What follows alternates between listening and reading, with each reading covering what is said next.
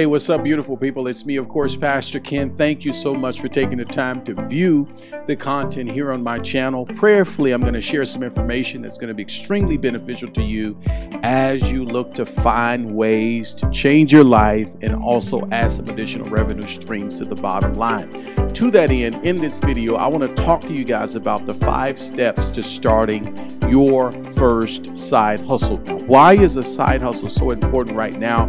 or another way of saying it, earning additional income. It's simply because right now, if you are not aware of it, we are at the brink of recession. And just because a recession takes place does not mean you have to participate. And what I mean by that is you don't have to give in. And this is where a side hustle could be extremely beneficial to you as an individual because starting a side hustle can help you accomplish a wide range of personal and professional goals from bringing in more income to actually enhancing your skill set. The key is, however, you can do this while maintaining your full time responsibility with your nine to five. If you've been waiting for a raise, listen, a side hustle is a, the perfect opportunity for you to find ways to earn additional money while you're looking for your employer to give you what you truly are worth. Now, what I want to talk to you guys about is expanding what a side hustle is and what some things you can actually do in the five steps that you need to take in really preparing yourself and starting your side hustle because it's anything that you do outside of your nine to five to earn additional money. And what I want to do is talk to you about you preparing yourself to develop a side hustle because believe it or not, I think we can all use some additional cash, especially have you been to the gas pump lately? Last week I pumped gas, which is premium.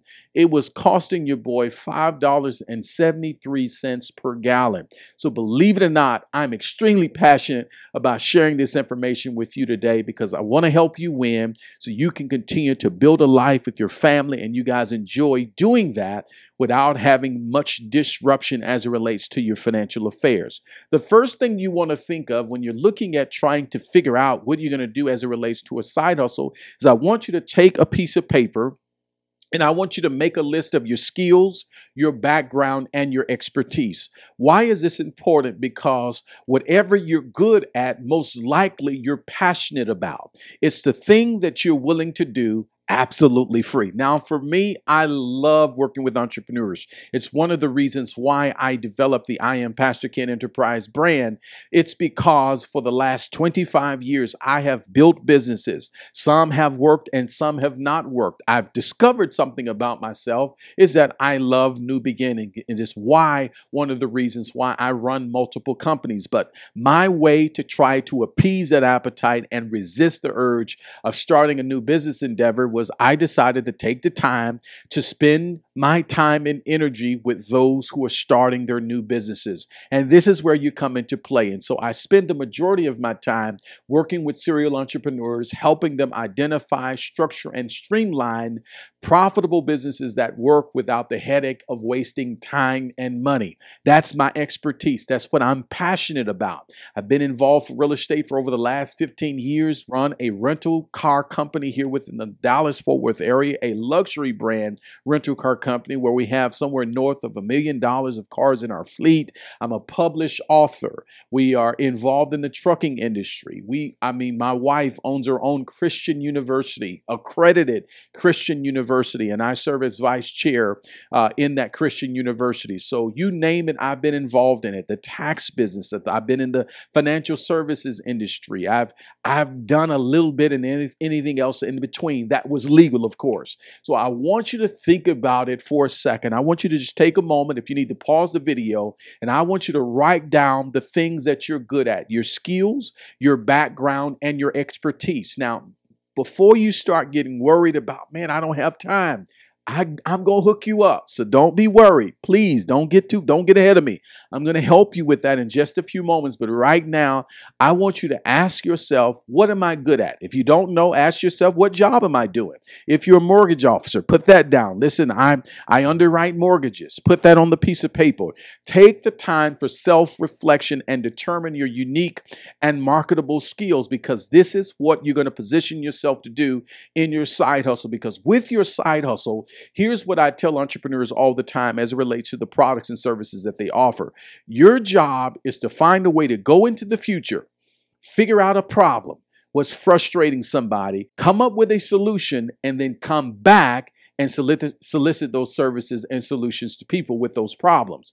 This is what your side hustle will do. We're just going to do it on a smaller scale. So this is why I want to ask, I want to challenge you to ask yourself, what am I good at? What's your experience? What's your areas or interests rather? So I want you to think about that. Secondly, I want you to consider the main objectives uh, for whatever it is that you're going to decide to do. Think about. I want you to write down. So if you are going to be somebody who's going to get in real estate, you're going to do real estate on the side. What are the main objectives? Well, I'm going to help people accomplish the American dream. They're going to purchase their first home. I'm going to help people provide a way to where I'm going to help them reach their financial goals. If they are, if you're in the financial services industry, I'm going to help the working class citizen find a way to be in health and be fit uh, without losing the foods that they love. You want to just write down what your objectives will be of your side hustle. And then the best way to think about it is start with your personal goals. This is the best way to determine how you can serve someone else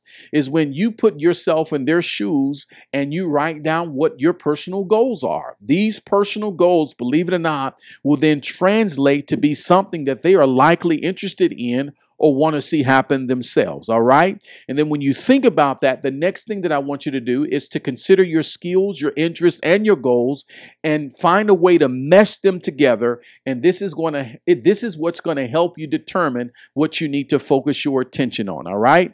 Number two, once you have found a way to make your list, and you've identified your skills, your background, and your expertise. Number two, determine how much time and resources you have available to, to allocate to your side hustle because believe it or not some industries are time consuming. I remember just as a matter of fact in this pandemic i someone rented a car for me. Call me crazy man. Someone rented a car for me and um, he dropped the car off and I asked the guy because he, you know, he paid a pretty premium price. And I said, man, what what exactly do you do? He says, oh, well, I, I drive box trucks and I I work seasonal. I said, what do you mean you work seasonal? He says, oh, I work certain times of the year. I'm off in the winter and uh, I just work through the, you know, the the spring and the summer uh, and parts of the fall period. I says, wow, what, what do we do? He says, well, I don't drive semi trucks, I drive box trucks. And so I says, well, talk to me about what it is you're making. And so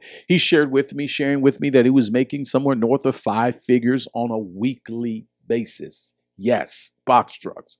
So, what do you think I did? Because I love starting new opportunities, I made a decision to go out two weeks later, got myself involved in the trucking business. I bought my first box truck, uh, and it ran me right at $90,000. I didn't know anything about it. I didn't know anything about the state laws, you know, road laws. I, I didn't know anything about drivers or anything like that but I was, I'm a guy, I'm just going to learn as I go. I'm going to jump in the deep water and we're going to figure it out.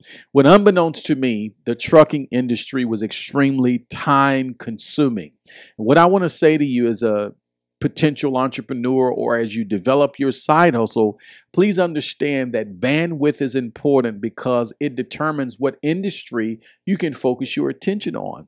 The trucking business, the trucking industry required more time than I was willing to allocate. So, what do you think I did? I found a way to flip my problem. Okay, so don't worry, I didn't lose my t shirt and my hat and my shoes. I found a way to flip my problem, and I found a guy who had been renting from uh, Penske on a weekly basis, paying somewhere north of three to four thousand dollars a week. So, what do you think I did?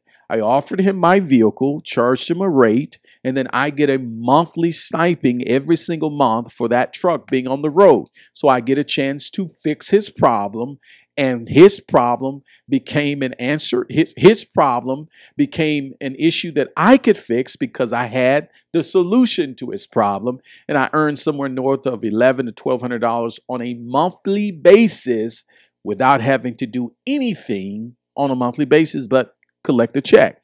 So I want you to think about your bandwidth because certain industries are are are have time uh, restrictions that you may not uh, be available to fulfill. Number three, this is what's going to help you. Is I want you to explore potential freelance projects and work. So once you identify what you're good at, you're going to find yourself going to maybe a website that may have opportunities for you to contract with them to do what it is that you do very well at. If you are a blogger and you're very, very good with writing, for instance, my wife is uh, an amazing writer. She articulates and can really uh, add flavor to any writing or any letter. And so often I ask her to help me out. But over the years, I mean, we've been married 16 years, I have gotten a lot better in my writing skills. But for her, if she was looking for anything, I would have encouraged her to maybe do writing on the side because she's really, really good at writing. Um, and for those of you who say, listen, this is what I do, for instance, I build websites, uh, maybe I, I'm very good with marketing, I'm, I'm very good with branding, I'm very good with creative design or whatever the case may be, because these are all services actually that a lot of small business owners need. And so here's what you can do is you can actually contract a freelancer and you can go go to Fiverr and uh, you can actually contract somebody who is in somewhere on the other side of the world. And believe it or not, for instance, you know, compensation in the Philippines is, I mean, honestly, you can get a pretty good freelancer for a little next to nothing, as a matter of fact. So if you find yourself offering a service or product, rather, where it can actually be uh, uh, uh, provided or given to someone else to fulfill and you're just playing the middle person and you're the one that's making sure that the fulfillment happens, then you may want to look out to a freelance service like Fiverr uh, and, and find someone who actually is doing the services that you're looking to fulfill. And then you market that and you add your price on it. And believe it or not, you can actually find someone to do those services for, for next to nothing. All right. So exploit freelance uh, projects and, and potential work that may be available or you can look at that on the flip side. I want you to find someone who can actually fulfill the orders that you're looking to uh, fulfill through what it is that you do with your side hustle. Number four, I want you to consider some alternative side hustles like selling things online. Believe it or not, this is a big one. Um, this is where Amazon.com uh, uh, .com comes into play. Believe it or not, a lot of the products and services that get delivered to our front porches is products that are coming from the average, you know, working class citizen home. Somebody is actually offering service uh, or offering products that they've gotten at a deep discount and they've priced it a little bit higher and they've put it on Amazon. And believe it or not, I shop at Amazon not for the prices. I shop at Amazon because of the convenience. And you want to keep that in mind. And then I want to give you the last thing is, is I want to challenge you as you think through this, maintain a balanced workload as you develop your side hustle. Uh, as you take on more opportunities, you may find yourself getting requests from new clients, uh, which can really add up very, very quickly. So I want to challenge you not to overcommit yourself as you work in developing your side hustle. Hold yourself accountable to this new workload, but I want to also challenge you to maintain a balance to avoid that burnout uh, and make sure that you make time for yourself. Don't overcommit. I have a tendency to do that. So I'm challenging you do as I say, not as I do. Don't overcommit to projects, especially if you already got a job that's demanding and it requires a lot of your time and energy because a lot of our jobs, believe it or not, are mind consuming. Many of us, we can do the work. It's just the mental consumption that is required for you to do your nine to five. It, it can be daunting uh, and it can be draining. So just make sure that you put yourself in the best possible position to fulfill what it is that you're doing uh, for the clients that you're looking to help with your your your new side hustle.